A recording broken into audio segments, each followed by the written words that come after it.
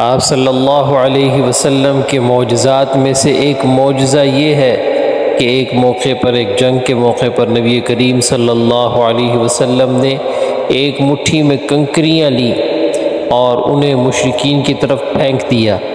नबी करीम सल्लल्लाहु अलैहि वसल्लम मुशरकिन की तरफ़ कंकरियाँ फेंकते हुए फरमाते रहे, इन हदिमू व मोहम्मदिन, इन हदिमू व मोहम्मदिन पसपा हो जाओ रब मोहम्मद की कसम। जब मुशरकिन पर वो कंकरियाँ पड़ती थी तो उनकी क़वत ज़यीफ़ होती जाती थी, वो कमज़ोर होते जाते थे और मुसलमानों ने उन्हें शिकस्त दे दी।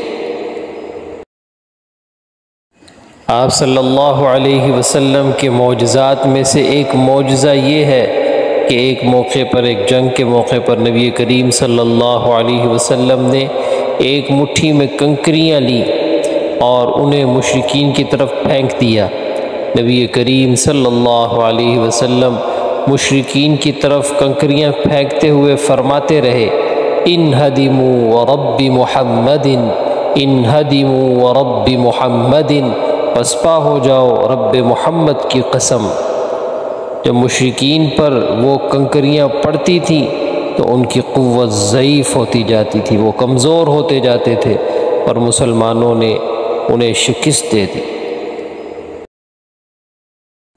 आप सल्लल्लाहु अलैहि वसल्लम के मोजज़ात में से एक मोजा ये है कि एक मौके पर, एक जंग के मौके पर नबी करीम सल्लल्लाहु अलैहि वसल्लम ने एक मुट्ठी में कंकरियाँ ली और उन्हें मुशरकिन की तरफ़ फेंक दिया।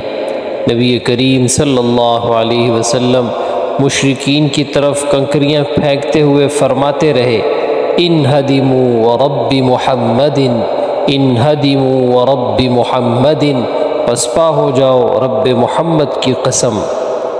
जब मुशरकिन पर वो कंकरियाँ पड़ती थी तो उनकी क़वत ज़यीफ़ होती जाती थी, वो कमज़ोर होते जाते थे और मुसलमानों ने उन्हें शिकस्त दे दी।